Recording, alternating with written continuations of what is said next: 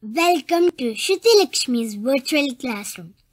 Today we're going to see the divisibility rules by 2, 4 and 8.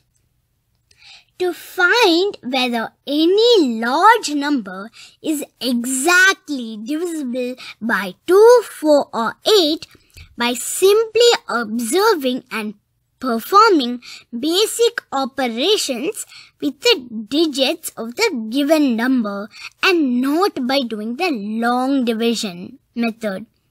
Curious to know? First, let's see the divisibility rule for 2. If the digit in the ones place is any of the even numbers, the given number or the dividend is divisible by 2. Let's see some examples. 2, 6, 5, 7, 3, 8. Here the ones place is 8 and 8 is divisible by 2. So this number is also divisible by 2. So 5, 6, 0, 3, 8, 5, 0. Here the ones place is 0 and 0 is also divisible by 2. So this number will be also divisible by 2. So 4, 8, 6, 9, 3. Here the ones place is 3 and 3 is a odd number. So 3 is not divisible by 2. So the number is also not divisible by 2. Now let's see the divisibility rule for 4. A number is divisible by 4 if the last two digits is divisible by 4. And also remember that if the last two digits of that number are zeros, then it is also divisible by 4. Let's see an example.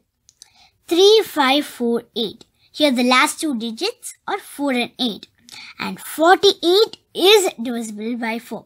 So this number is also divisible by 4. So 63500. Here the last two digits are zeros. And if the last two digits are zeros, it is also divisible by 4. So 63500 is divisible by 4. So let's see. 576541 Here the last two digits are 12 and 12 is divisible by 4.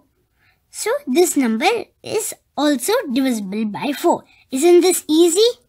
Now let's see the divisibility rule for 8. A number is divisible by 8 if the last three digits is divisible by 8. And also remember that if the last three digits are zeros, then it is also divisible by 8. Let's see some examples. 974568. Here the last three digits are 568. And 568 is divisible by 8. So, 974568 is also divisible by 8. 358000. Here the last three digits are 0, 0, 0. So, when they end in zeros, the last three digits, it is also divisible by 8. So, this number is also divisible by 8. 4382. Last three digits are 382. And 382 is not divisible by 8. So 4382 is also not divisible by 8. Thanks for watching.